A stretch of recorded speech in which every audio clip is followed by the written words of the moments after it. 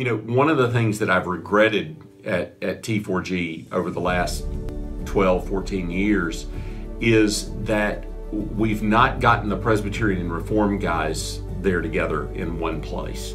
And uh, a lot of Presbyterian and Reform folks have been coming to T4G from the very beginning, and they're from a variety of different denominational backgrounds. A lot of them don't know one another, and so very frankly, one of Kevin and my agenda uh, agendas is just just to get all of the Presbyterian Reform folks together to so a lot of these guys don't know one another, and and we want you to know one another. That's part of T4G. If, you, if, if, some of you remember the very original T4G, one of the things we did one day is, is introduce people to one another in particular cities and geographical areas uh, who were like minded brothers who didn't even know one another. And so I, I want all those Presbyterian and Reformed folks from various denominational backgrounds to know one another.